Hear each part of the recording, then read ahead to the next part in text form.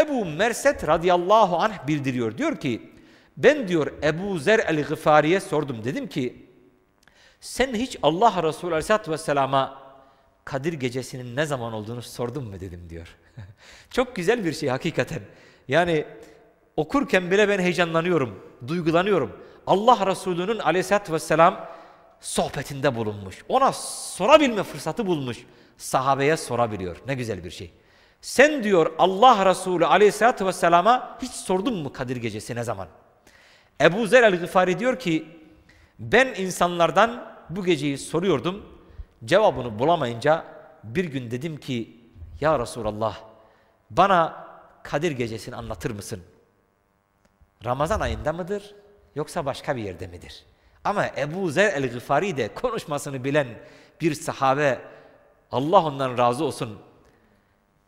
Ramazan ayında mıdır? Bakın çok genel başlıyor konuşmaya. Yoksa başka bir yerde midir? Sordum araştırdım ya Resulallah bana lütfeder misiniz söyler misiniz? Dedi ki diyor bana Allah Resulü Aleyhisselatü Vesselam o Ramazan ayındadır dedi. Kadir gecesi Ramazan ayındadır dedi. Ya Resulallah o Kadir gecesi siz yaşadığınız müddetçe olan bir mübarek gece mi?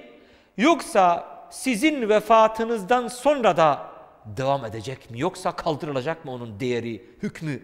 O geceyle alakalı bu ayet-i kerimenin değerini bildiren, kadri kıymetini bildiren. Kalkacak mı yoksa hükmü devam edecek mi dedim diyor. Yok dedi, kıyamete kadar devam edecek dedi. Büyük bir müjde verdi. Kıyamete kadar geçerlidir. Kıyamete kadar Kadir gecesinin hükmü geçerlidir dedi. Ya Resulallah hangi gün dedim diyor Ramazan ayında. Tam sohbete dalmışken hangi gün ya Resulallah dedim diyor. Dedi ki aleyhissalatü vesselam ilk on gününde veya son on gününde arayın dedi bana diyor. İlk on gününde veya son on gününde arayın. Bıraktım diyor kendi haline başka sahabelerle sohbete daldı diyor. Dalmasını bekledim diyor. Planlı projeli iş yapıyor. Sohbete dalınca diyor dalgınlık anında bir anda istifade ettim. Ya Resulallah şimdi bu 20 günün hangisinde arayayım ya Resulallah dedim diyor. 20 gün. Çok geniş bir zaman zarfı bildirdin ya Resulallah. Hangi gününde arayayım dedim diyor. Son 10 gününde arama bir daha sorma dedi. Son 10 gününde ara bir daha bununla alakalı sorma bana dedi diyor.